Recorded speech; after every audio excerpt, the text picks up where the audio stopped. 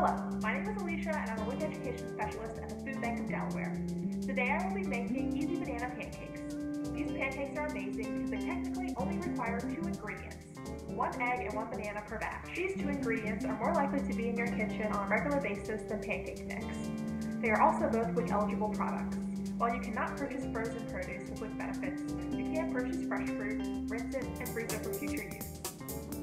Bananas are always an inexpensive, nutritious food that can help stretch your dollars in meals. They are also a good source of potassium and fiber, two nutrients that are associated with lower blood pressure and thus lower risk for heart disease. In addition to pancakes, bananas can replace eggs and oil in many baking recipes. They can also be peeled and frozen for thick smoothies. In addition to the banana and egg, we will be adding a packet of plain oatmeal and blueberries, two other WIC approved products. If you have a large container instead of individual packets, you can use 1 4th cup of oat. Oatmeal is a great way to thicken the pancakes and stretch the batter, and a great way to add fiber and thiamine. Thickening the pancakes also makes them easier to flip. If you can add more fruit, why not? Blueberries are another WIC eligible food that can add exciting flavor to pancakes. Blueberries are a good source of antioxidants and a common USDA product distributed by local food banks. Now we will move on to starting our pancakes. For this recipe, you will need a frying pan or electric griddle, two small bowls, a fork, a measuring spoon, a scoop for pouring, and a spatula for flipping. You should also have a serving platter or dish nearby, along with cooking spray or oil. The pancakes will require the following ingredients. One large banana, which we will mash, one packet of plain oatmeal or 1 4th cup of plain oats, one egg, 1 4th cup of fresh rinsed blueberries, and 1 teaspoon of cinnamon. First, peel a banana and mash it in the bowl with a fork.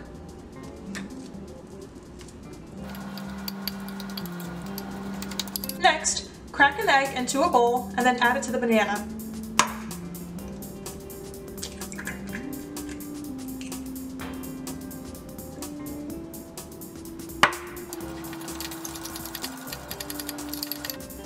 Pour in the oatmeal.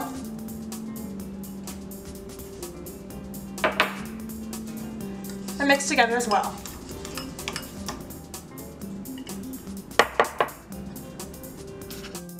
Next, grease a frying pan and set the stove on low heat or lightly grease your electric griddle, spray with cooking spray, and plug it in.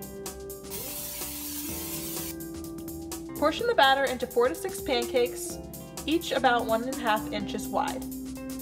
In addition to oatmeal, keeping the pancakes small will make them easier to flip.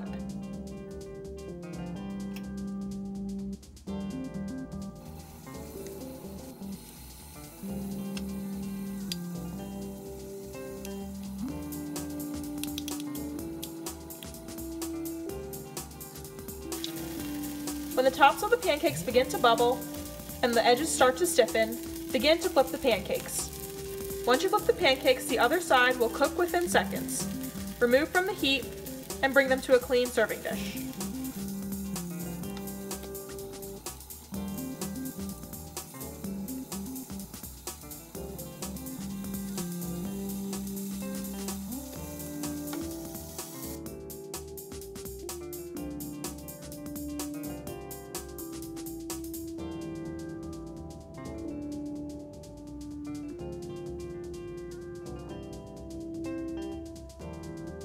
For watching this video. We hope you enjoy making this recipe, which can include help from your kids and allow them to consume some fruit early in the day. See you next time.